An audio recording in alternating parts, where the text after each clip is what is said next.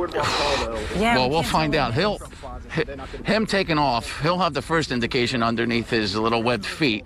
Yeah. And when he takes off, that'll be the ultimate signal that it's happening. Okay. Here we go. All right, the countdown: four, Ten seconds. Okay, three, Let's shut up, everybody. two, one.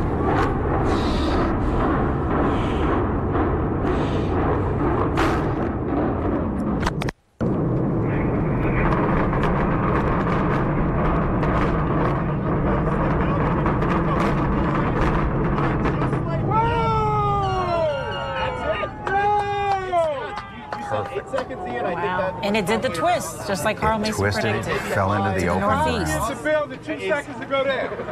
He says two seconds. Wow. A little under that, but now the dust Steve, I can hear everybody. starting to come up. Uh, we can Well, Mike, the smoke is coming directly at us. Okay, I see So the smoke is not going up. and It is coming directly Coming at right at us. So if you stay with this shot, I'm waiting for everybody to run inside now.